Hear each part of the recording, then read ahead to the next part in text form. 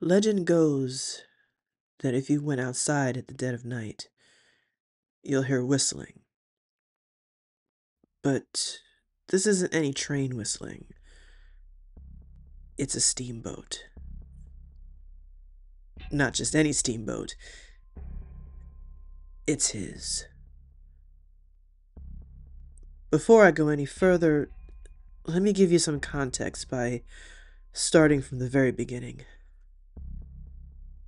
My name is Steven, and I have made the biggest mistake in my entire life. It all started when I went out. Uh, I didn't go anywhere in particular, no destination really. I just went where the wind would take me, as they say. I just went off cruising until I find myself in a abandoned parking lot of a studio on the outskirts of town. So I put my car in park and headed towards the dilapidated building. I, I don't know what drew me there to begin with. It's just something about it made me want to go inside. As my feet have a mind of their own, uh, I proceeded into the building and took a look around. Not much to see in a except torn down walls and floors being reclaimed by the earth. Grass growing through the cracks of the concrete and tiles inside. So, as I explore the place, looking around trying to find something that I have, or anything, I have no idea.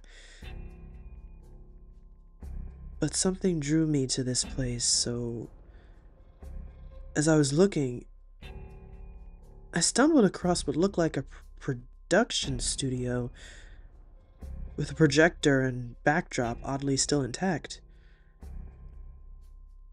As I walked up to the projector to check it out, I don't know, I, I felt uneasy. Like something was telling me to run and never come back. I ignored that warning.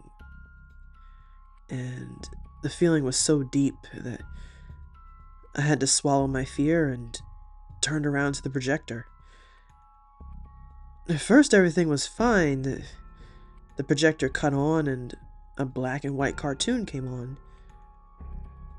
It looked like Mickey Mouse, but he was all in black and white and had a captain hat. I think they called him Steamboat Willie back in the 30s and 40s.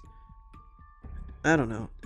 I've never really watched the old black and white cartoons before, so I couldn't tell you, but what I could tell you now, you wouldn't believe.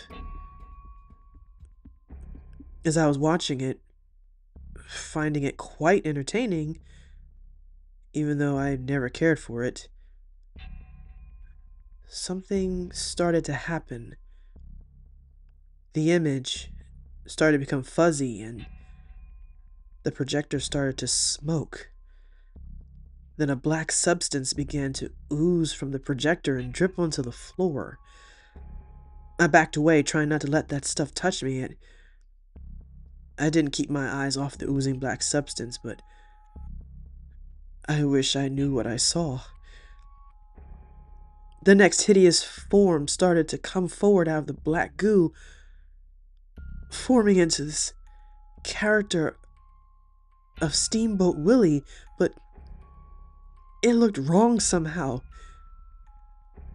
Its ears were round but sort of crooked and torn, and the hat on his head was ripped almost shredded, and his eyes should were endless voids of black that showed no light, no expression whatsoever as it climbed out of that gooey muck and started to come forward. It finally noticed me and looked at me and gave me a horrible, wicked smile.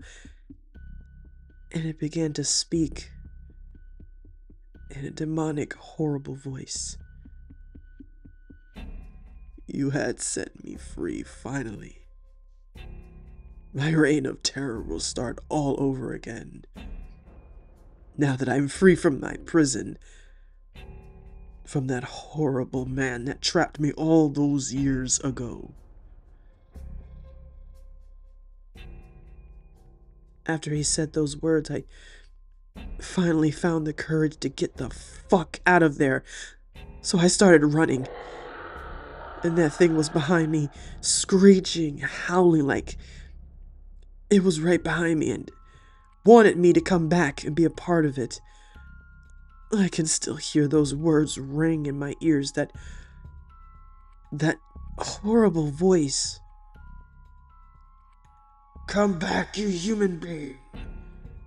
Part of me, one with Steamboat Willie.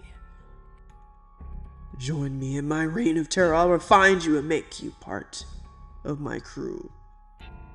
Or could feast on your blood. I was never the same after that day.